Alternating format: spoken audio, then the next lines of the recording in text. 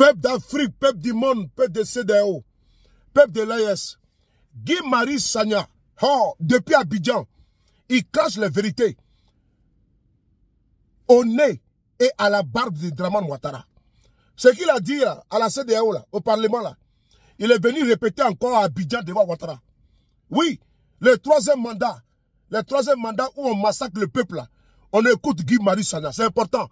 On partage la vidéo, c'est important, depuis Abidjan. Copain et de coquin.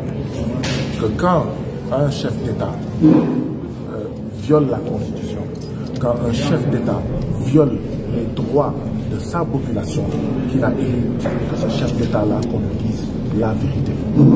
Parce que, encore une fois, je le répète, il y a tous les jours dans notre CDAO des coups d'État économiques, des coups d'État politiques, des coups d'État constitutionnels. Les coups d'État militaires ne sont pas forcément les plus dangereux et les plus graves. On a vu, vous le savez mieux que moi, un coup d'État où il y a eu zéro mort. Par contre, on a vu des coups d'État constitutionnels à travers les tripatouillages de la Constitution, des troisièmes mandats aussi, aussi illégaux qu'illégitimes, où il y a eu 50 morts, 10 morts, 30 morts, 40 morts. Qu'est-ce qu'il y a de plus dangereux? Un coup d'État militaire ou un coup d'État constitutionnel?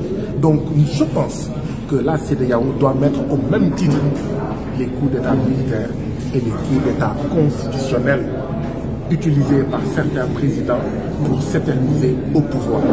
Si nous voulons rendre service à notre peuple, à nos peuples, si nous voulons réconcilier les peuples avec la CDAO, les peuples d'Afrique de l'Ouest, il faudra dire la vérité.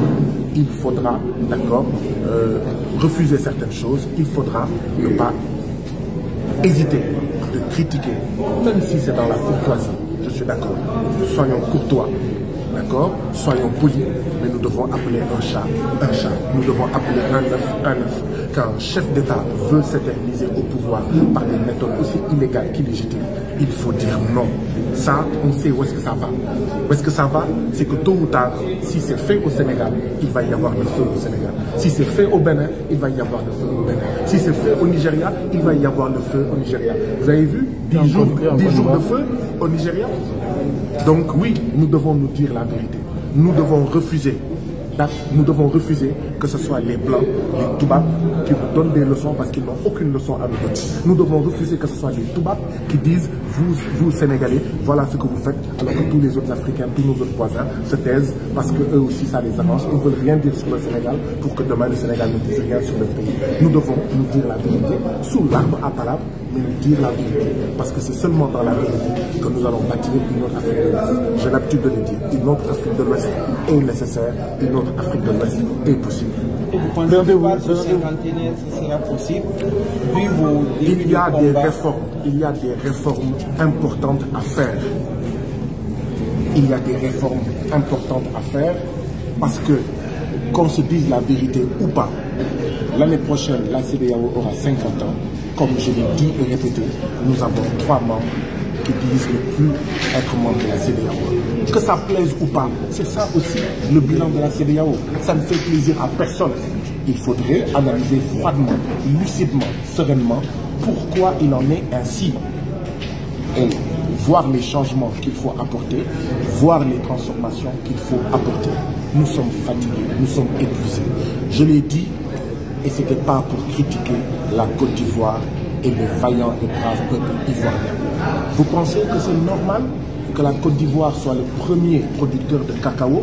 Et quand vous listez les 10 pays qui produisent le plus de chocolat, vous ne trouvez pas la Côte d'Ivoire? Et on s'étonne qu'il y a du chômage ici On s'étonne qu'il y a de la pauvreté ici On s'étonne qu'il y a 40% d'Ivoiriens qui ne savent ni lire ni écrire, qui sont analphabètes Je vous rassure, au Sénégal, c'est 54% de la population qui est analphabète. Donc ce que je dis pour la Côte d'Ivoire, c'est ce que je dis pour le Sénégal. C'est-à-dire si ce que nous produisons, nous ne le transformons pas dans nos pays, nous ne pourrons pas régler les problèmes de sous-développement et les problèmes de chômage. Il y a une vision internationale du travail qui nous a été imposée par les impérialistes.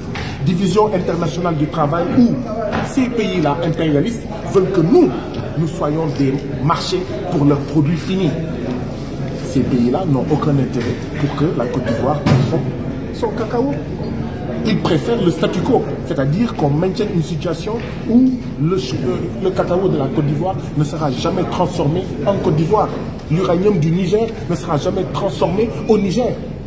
L'éveilla du Libéria ne sera jamais transformé au Libéria. Le phosphate, ou je ne sais pas moi, l'or du Sénégal ne sera, ou du Mali ne seront jamais transformés au Mali et au Sénégal. Pourquoi? Parce qu'il faut qu'on nous tienne, nous pays, qu'on soit les débouchés de leurs produits finis et que nous soyons les réservoirs de matières premières où ils viennent puiser, transformer dans leur pays, créer de l'emploi dans leur pays et laisser de la pauvreté, ou plutôt de l'appauvrissement et du chômage. Et ça, si nous voulons régler cela, il faut une autre CDAO, il faut une autre Afrique de l'Ouest. Je vous remercie. Il faut une autre CDAO, il faut une autre Afrique de l'Ouest. Frères et sœurs, depuis Abidjan en Côte d'Ivoire, Guy-Marie Sagna vient de réitérer encore une fois de plus. Il faut des Africains décomplexés. Il faut des Africains engagés. Il faut des Africains insoumis pour cracher le feu de la vérité au nez et à la barbe d'un monsieur qu'on appelle Ouattara, qui, est en train de faire un troisième mandat anticonstitutionnel. Un coup d'État où il y a eu, n'est-ce pas, des dizaines de morts. Et pendant ce temps, cette même CDAO va condamner le capitaine président Ibrahim Traoré, le colonel Assimi Goïta, le président général Boudraman Tchani. De quel droit? Sur quelle base? Oui, c'est ça, c'est CDAO des chefs d'État que nous ne, voulons, nous, nous ne voulons plus. Voilà pourquoi le deux pas deux mesures a poussé les pays, de la, les, pays du Niger, du Mali et du Burkina à créer l'AES. L'AES qui est une autre vision pour le peuple, pour les peuples. C'est ce qui est important. Quand on voit un Alassane Ouattara faire un, troisième mandat et c'est lui-même qui décide de, prendre, de mettre en, place sur pied un bataillon pour aller attaquer le Niger. De qui se moque-t-on? De quoi se moque-t-on? Oui, c'est l'hôpital qui se fout de la charité. C'est le malade qui se moque de l'ambulance. C'est Alassane Ouattara qui va venir, lui qui a fait un coup d'état constitutionnel, qui va envoyer un bataillon pour aller rétablir Bazoum dans son, dans son pouvoir. C'est ça l'incongruité. C'est ça l'antinomie qui existe au niveau de l'AES et de, de la CDAO, qui est une CDAO, n'est-ce pas, de contre-valeurs. Oui, une CDAO des personnes corrompues, manipulées, instrumentalisées, téléguidées comme des pions, poussées comme des pions. C'est ça que la jeunesse, la nouvelle génération ne veut pas. Et Guy-Marie Sagna le fait bien de le dire en Côte d'Ivoire à Abidjan devant Ouattara lui-même, qui est un poussiste congénital, notoire, éternel, devant l'éternel. Peuple d'Afrique, peuple du monde, partagez, à Pompée. Merci.